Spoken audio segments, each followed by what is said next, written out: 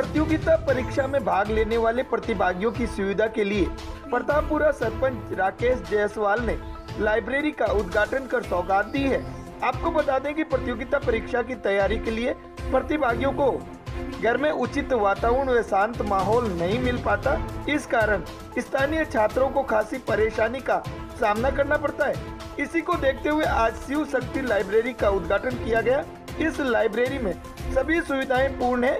साथ ही अनाथ बच्चों को निशुल्क सुविधा उपलब्ध कराई गई है। निर्देशक कालूराम ने बताया कि कई छात्रों को पढ़ने के लिए असुविधा होती है और प्रतिभागियों को 15 किलोमीटर दूर जाना पड़ता है। इसी को देखते हुए इस लाइब्रेरी का निर्माण करवाया गया है।